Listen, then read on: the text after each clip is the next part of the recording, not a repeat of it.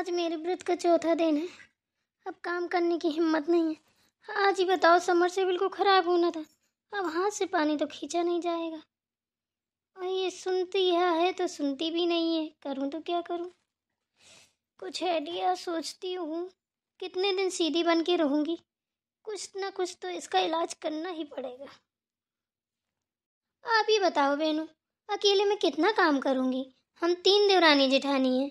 जिसमें कि प्रिया तो करवा भी लेती है, सुनता नहीं सुनती है। जैसा उसका नाम, वैसे ही उसका काम। सच बता रही हूँ, अब ऐसा करना नहीं चाहिए। मेरे दिमाग में ना आज एक चीज़ घूम रही है। आज मैं ना वही पैतरा उस पर आजमाने वाली हूँ।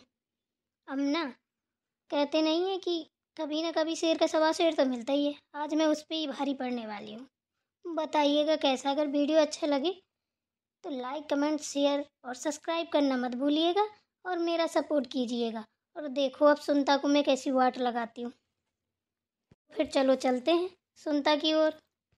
प्रिया, सुनता, कहाँ हो इधर आना जरा? जी दीदी, बताइए, क्या हुआ? आ गई तुम दोनों? हाँ आ गए, बोलिए। मेरे पास में आओ। बोलिए। अरे, मैं ये कह रही हूँ कि कल मेरी मम्मी से मेरी बात हुई थी। तो बोल रही थी कि बिटिया, नौ दिन का व्रत हो और काम वाम अच्छे से होगा नहीं। और बताओ, प्रिया भी व्रत है, सुनता भी व्रत है तो कैसे काम करोगी? तो मैं आ रही हूँ। मैंने कहा, ठीक है, कोई बात नहीं है आ जाओ, पर घूम जाना, काम करने की ज़रूरत नहीं, मैं कर लेती हूँ। तो मैं ये कह रही हूँ कि प्रिया, सुनता, तुम दोनों में से ना कोई काम मत करना, ठीक है ना? अब मैं डायरेक्ट माँ से थोड़ी ना बोल सकती हूँ। कि आगे काम करना।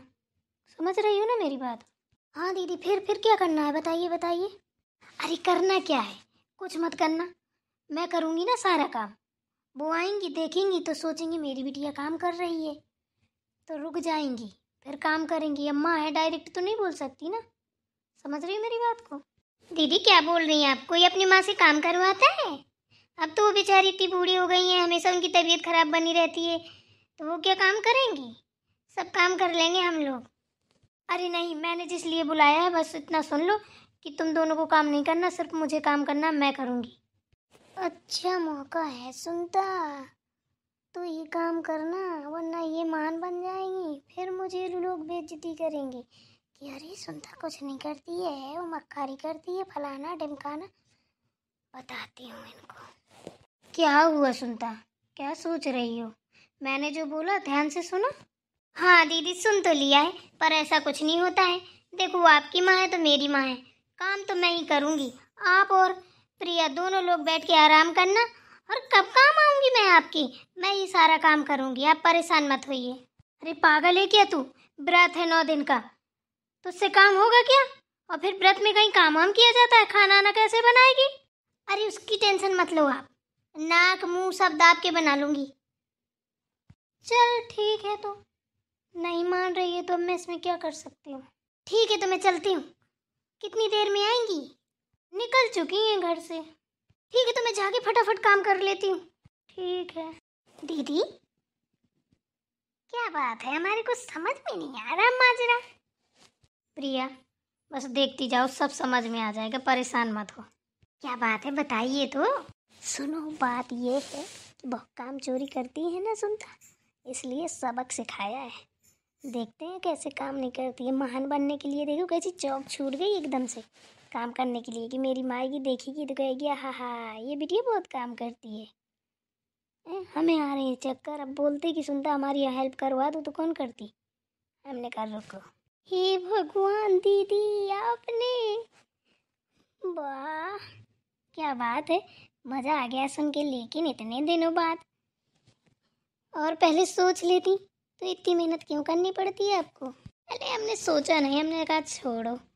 छोटी है छोटी है, पर वो छोटी नहीं, खोटी है। चलो तो फिर देखते हैं कैसे काम कर रही हैं। चलो, जल्दी से जल्दी से, चलो। आज मैं ही सारा काम करूँगी। जब दीदी की माँ आएगी ना देखेंगी, तब पता चलेगा इनको कि काम कौन करता है। जिसको देखो वही अपनी अपनी लगाए रहता है। जब मैं काम करती दिखूँगी ना, तब पता चलेगा। मेरा नाम सुनता है। मुझसे कोई नहीं जीत सकता। दीदी! बोलो सुनता, कहाँ पहुँची आपकी मम्मी? अरे, पहुँचने वाली हैं। थोड़ी दूर रह गई हैं। सही बताओ। नहीं तो क्या झूठ बोल रहे हैं?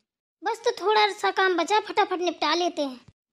कोई दिक्कत नहीं, आराम से करो। करती रहोगी, जब आएँगी तो देखेंगी कि अरे तुम काम कर रही हो, पर हमारी डांट मत पड़वाना। अरे दीदी, कैसी बात कर रही हैं? आप तो मेरी बड़ी बहन है। क्यों डांट पड़वाऊँगी आपकी मैं? हाँ तो बस ठीक है। अपने हिसाब से देख लेना। क्योंकि वो देखेंगी तुम्हें काम करते हुए तो मुझे ज़रूर डांटेंगी। पक्का मुझे पता है। अरे क्यों परेशान हो रही हैं? हम आपको बाल में बाका नहीं होने देंगे। ठीक है तो फिर। परेशान क्यों हो? जिठानी रानी ये तुम चाहते हैं, जब देखो तो हमारी डांट पड़वाती रहती हो। इसीलिए हम काम कर रहे हैं। कम से कम आपकी माँ देखेंगी तो उनको तो तरस आएगा मेरे ऊपर। बड़ी आई। मेरे ऊपर मत थोप देना, मेरी डांट मत पड़वाना। आज पता चलेगा। चलो, झाड़ू लग गई कपड़े धुल गए, सब कुछ हो गया अभी। रसोई घर और संभाल लूँ, जल्दी से फटाफट खाना बना के रख दो। आराम आराम से भी करना पड़ेगा, क्योंकि उनको दिखाना भी तो है। ये काम निपटा देती हूँ रसोई घर का, फिर जो होगा वो भी निपटा दूँगी। और दादी की ना पूजा का सामान भी लगा दूँगी तो दादी भी खुश। और दीदी की माँ भी खुश अब तो सारा अवार्ड मुझे ही मिलने वाला है चारों तरफ़ से। अरे, प्रिया की ना दीदी की पक्की डांट पड़ेगी। छोड़ूँगी नहीं आप दोनों को। पर एक बार फिर से पूछ लेती हूँ, कहाँ पहुँची कहीं आ ना गई हूँ। दीदी, क्या हुआ दीदी? आप काम कम करती हैं, दीदी को ज़्यादा बुला रही हैं। आपसे काम नहीं हो पा रहा है क्या? अरे नहीं प्रिया, ऐसी कोई बात नहीं है। ये पूछना है कि उनकी मम्मी कहाँ पहुँची है? काम तो सारा हो गया, देख कपड़े धुलाई और झाड़ू भी लगा दी हर जगह मैंने, बाहर भी झाड़ू लगा दी। बस ये रसोई घर रह गया, समेटने को ये भी समेट के अच्छे से दादी की पूजा का सामान लगा दूँ, बस खाना बना लूँ। हो गया पूरा काम? कितना काम है? एक मिनट का है मेरे लिए। बाएँ हाथ से यूँ यूँ करके सब बन एक सेकंड के अंदर सब, सभा मैदान कर देती हूँ। वाह दीदी, क्या बात है! आप तो काम करने में बहुत एक्सपर्ट है। आपका तो कोई जवाब ही नहीं है। इससे पहले तो इतनी सफ़ाई से आपने कभी काम नहीं किया? आज बहुत जल्दी जल्दी कर रही हैं? अरे, तुझे क्या पता? अब माँ है, दीदी की हो या मेरी हो। अब माँ आ रही है तो माँ की वजह खुशी की वजह से तो करना ही पड़ेगा। हुँ? कम से कम माँ को तो लगे कि हाँ मेरी बेटियाँ कितनी अच्छी हैं। खैर, तू ये सब क्यों पूछ रही है? चल हट यहाँ से। दीदी को बोला, उनसे पूछना है कितनी दूर पहुँची माँ। काम से मतलब कि माँ से मतलब? आप काम करिए ना। खून खूना मत बजा। समझी ना? आज मैं लड़ाई की मूड में नहीं हूँ, सच बता रही हूँ, बहुत खुश हूँ। तो दीदी को बुला दे। क्या हुआ? हम तो बिन बुलाए ही आ गए। बताओ, सुनता क्या हुआ? अरे दीदी, कुछ नहीं, ये पूछ रहे थे। कहाँ पहुँची? आपकी माँ। अच्छा। सारा काम हो गया? हाँ सारा हो गया। बस यही, बचा है रसोई घर। चलो, ये भी निपटा लो, फिर बताते हैं। अरे बताइए ना। क्या करूँ बता दूँ क्या?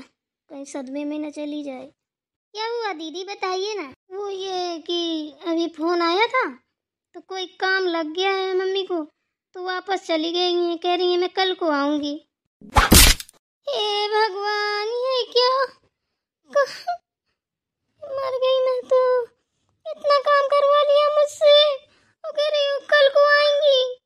कोई बात नहीं दीदी, आज किया है, कल फिर कर लेना।